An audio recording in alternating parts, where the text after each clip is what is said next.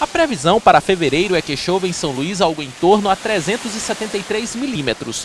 Em menos de 10 dias, foi registrado mais de 60% de todo o volume de chuvas estimado para o mês. Aqui no norte, a zona de convergência intertropical, embora não esteja com seu posicionamento médio abaixo do Equador, ou seja, portanto, aqui na ilha, mas ela tem pulsado bastante em direção à, à ilha e o litoral do Maranhão contribuindo bastante com essas chuvas. Somente no último dia 4 choveu cerca de 125 milímetros, uma média considerada alta para um período de 24 horas. As chuvas muito intensas podem ocasionar principalmente alagamentos, deslizamentos e desmoronamentos. Só em São Luís são 59 pontos de risco mapeados pela Defesa Civil. A Defesa Civil está em alerta, está indo às comunidades, está alertando principalmente as famílias que moram em áreas de deslizamento, né?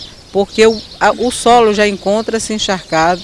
O Instituto Nacional de Meteorologia emitiu alerta laranja para o Maranhão. Isso significa dizer que, além das chuvas intensas já registradas este mês, são grandes as chances de temporais para os próximos dias aqui no estado. Quem está se programando para curtir o carnaval deve se preparar para encarar dias chuvosos. Existe um forte indício de que nós tenhamos, pelo menos a maioria dos dias do carnaval, regidos por um por, por chuva, porque as condições atmosféricas estão sinalizando isso.